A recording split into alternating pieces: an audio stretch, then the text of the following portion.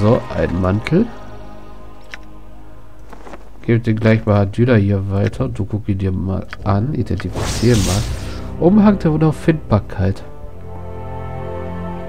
Kann nicht durch magische Mittel wie Zauber Unsichtbares entdecken und Erkenntniszauber entdeckt werden. Umhang auf Unauffindbarkeit. Flüstern der Stille. Berichten zufolge wurde dieser Umhang für eine der besten Einbrecherfamilien äh, geschaffen, die jedes Nacht, die jedes nächtens ihr Unwesen getrieben hat. Und offensichtlich wurde der Umhang seiner Aufgabe gerecht, denn es gibt keinerlei Hinweise auf seine früheren Besitzer. Ja, sehr nett. Äh, warum ist bei... Achso, wir haben die ganzen Edelsteine nicht verkauft, die Imoen geklaut hat. Dann kriegt das alles mal Khalid. Jo. So, Säurepfeile, die werden wir auch mal da reinpacken. Dann kriegen wir etwas mehr Platz hier. So. Okay. Was? Beinahe unter meiner Würde. Ja, nichts leichter Dann gucke ich mal kurz, ob die Tastlö was Wertvolles dabei hatten. Ach, eine Schildspruchrolle ist wenigstens etwas. Edelstein ist schon ein bisschen mehr. Drei Gold ist nichts wert. Blausteinhalskette.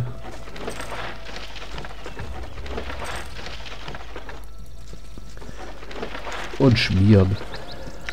Hm. Khaled, bewahr du das mal alles auf für uns. So, und ab dann muss Zeug zu Minsk. Was wollt ihr? Gut. Ah, wenn, dann machen wir es richtig. Deck das Fleckchen hier auch noch auf. Ja, der Mantelwald, der bedeutet Spaß für alle. Außer uns natürlich, die wir hier durch wollen. Ich glaube nämlich, so ziemlich alles hier wird versuchen, uns zu töten.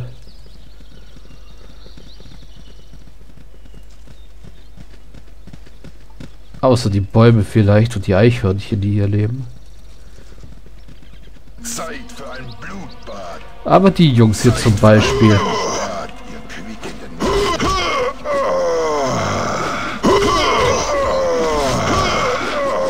Der ganze Kompanie Onkelions. Zeit für ein Blutbad. Komm her, letzter Onkelion. Dann lauf eben weg. So, das war's mit den Onkelions. Oh, ein Identifizierungszauber. Der ist praktisch. Oh, und Düder hier hat ein Level abgekriegt. Ihr habt gerufen? Das machen wir doch gleich mal. Eine Stufe höher. Äh, stumpfe Waffen, dass sie mit ihrer Stabschleuder besser umgehen kann. Und Zauber vergeben. Einen Feuerball. Und mehr haben wir nicht. Ja, beinahe unter meiner Würde. Noch eine Identifizieren-Schriftrolle. Was ist das? Tiger Kaurisch Neckar. Oder was steht da? Tiger Kaurisch Neck Tiger Kaurisch Schneckenhauskette. Ah ja. Das scheint ein besonderes Schneckenhaus zu sein. Was wollt ihr? Beinahe unter meiner Würde. Nebenbei, wie sind ihre Zauber eigentlich auf der ersten Stufe zurzeit eingestellt? Nur ein Identifizieren und vier magische Geschosse. Nebenbei magische Geschosse. Welche Stufe hast du jetzt? Sechs. Okay. Nee, wir kriegen auf Stufe 1, 3 und 5, 7 kriegen wir das nächste magische Geschoss. Also im Augenblick verschießt sie drei Stück.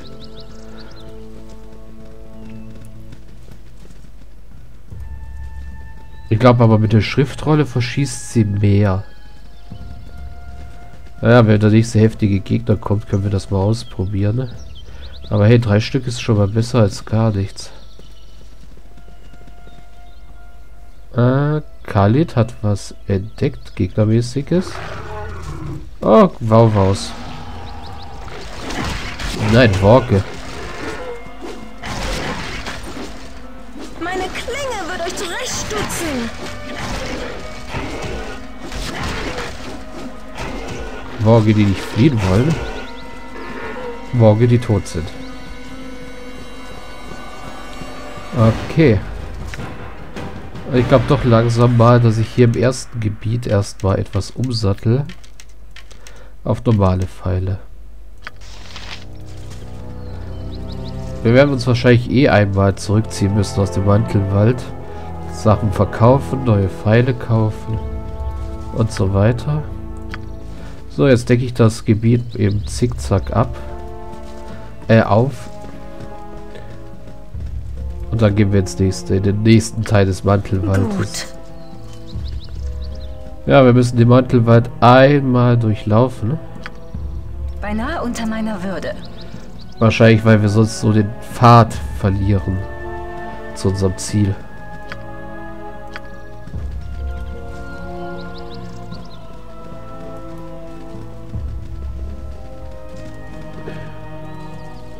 So, jetzt hier lang.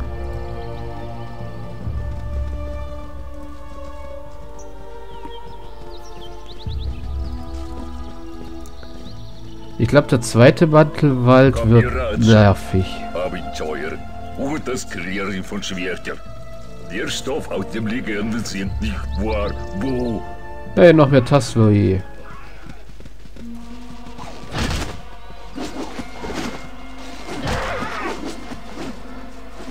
Tasloy sind ja keine wirklichen Gegner.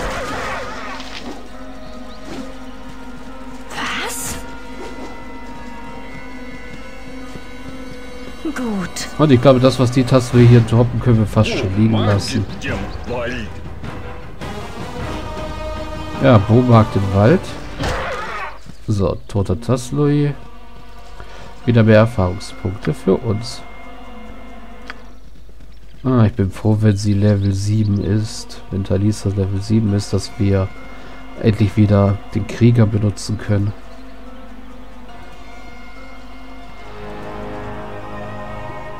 Also unsere Kriegerfähigkeiten.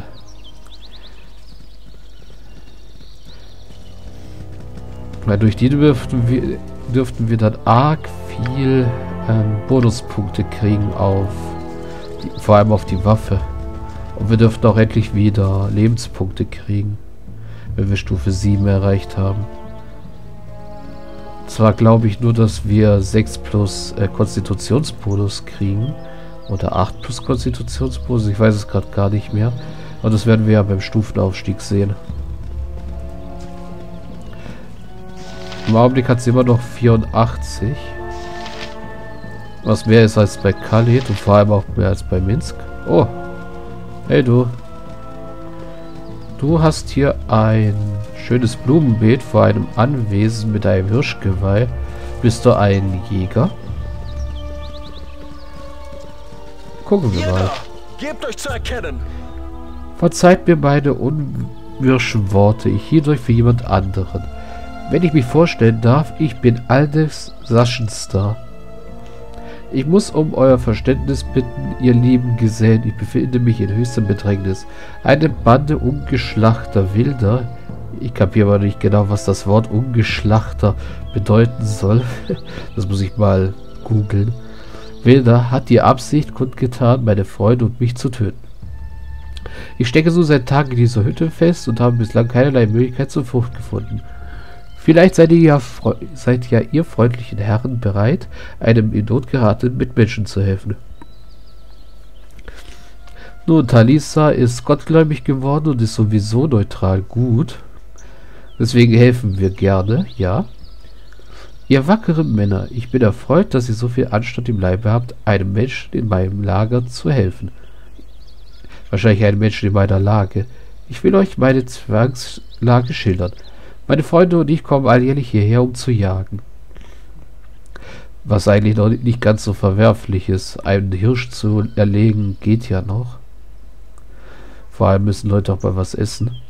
Dieses Jahr allerdings hat uns eine Gruppe von wilden Waldmenschen Gewalt gegen Leib und Leben angedroht, wenn wir unsere Jagdausflüge nicht einstellen. Wir sind jedoch der festen Überzeugung, dass wir als zivilisierte Menschen das Recht haben zu jagen, wo und wann immer uns danach gelüstet. Das klingt wiederum ähm, etwas negativ, weil normalerweise sollte man schon ein bisschen Respekt vor der Natur haben. Äh, nachgelüstet.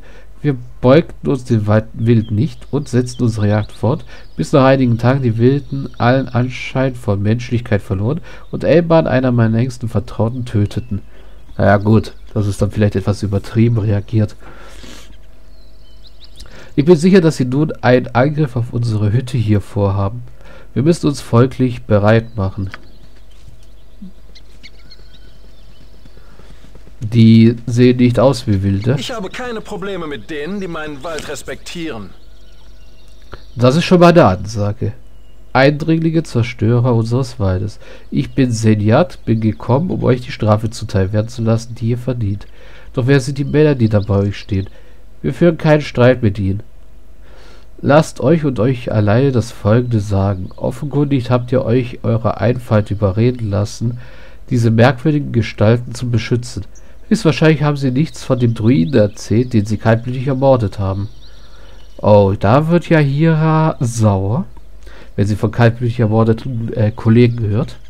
Ihr solltet nur, nur die Gelegenheit haben, eure Warnung einmal zu überdenken und diese Männer ihrem verdienten Schicksal zu überlassen. Hört nicht auf diese geifernden Wilden, meine lieben Gefährten. Sie lügen, wie man es von kulturlosen Barbaren nicht alles zu erwarten hat. Äh, ja, das hier ist ein bisschen übertrieben, was hier steht. Aber ich lese mal beides vor. Also erstmal die Variante, wo wir uns auf seine Seite stellen. Macht euch keine Sorgen, Alte. Wir würden euch keiner Horde wilder Waldmenschen überlassen. Das sind keine wilden Waldmenschen, das sind Druiden. Die sehen auch nicht mal wild aus. Druiden, die sehen eher vernünftig aus. Tut mir leid, Aldef, aber wir sind auf der Seite der Druiden. Die haben das hervorragende Aloe Vera Balsam und verteilen Bogen davon. Und meine Rüstung scheuert ein bisschen, ihr versteht. Also das, ja, der Humor von Baldur's Gate. Ich, ich, ich liebe ihn eigentlich, aber hier ist das fast schon grenzdebil. Und genau das nehmen wir auch. Wie? Seid ihr des Wahnsinns, mit einer Worte wieder gemeinsame Sache zu machen? Ihr Verräter, ihr werdet für eure Torheit büßen. Okay. So, so viel zu dem. Der war uns leider nicht ganz so freundlich gesonnen. Hatte was Interessantes dabei. Einen Heldentrank. Bastardschwert. Und einen Diamanten. Ja? So, dann reden wir doch mal mit dem Druiden. Nichts leichter als das. Ich, gratu mächtige Naturgewalt.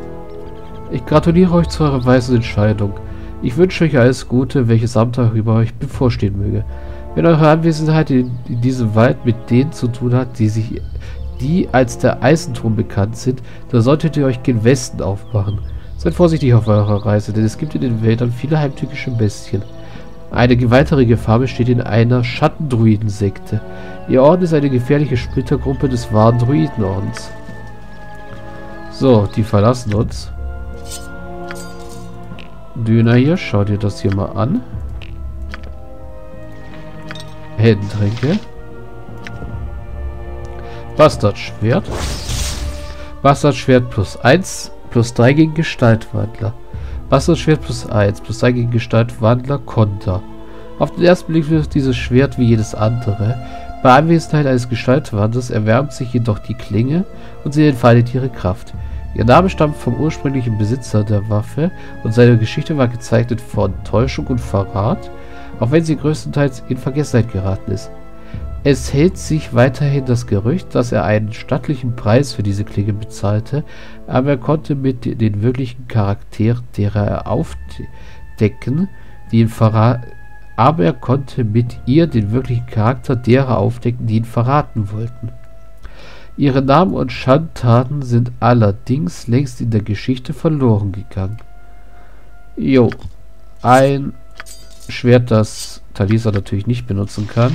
Deswegen kriegt Khalid mal. Für den Fall, dass wir gegen Gestaltwandler kämpfen. Gut. Frische Schleuderkugeln für dich. Du hast noch genug Pfeile. Dann machen wir weiter. nichts leichter als das. So, gucken wir mal, wo seine Kumpels sind. Oder ob er ganz alleine hier war. Kom je eruit, zo. Abenteuer.